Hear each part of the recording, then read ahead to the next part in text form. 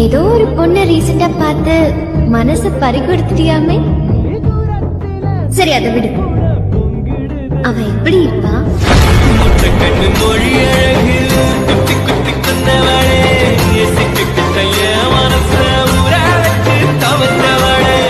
அதுக்குள்ள அம்மி கல்லா போறேனே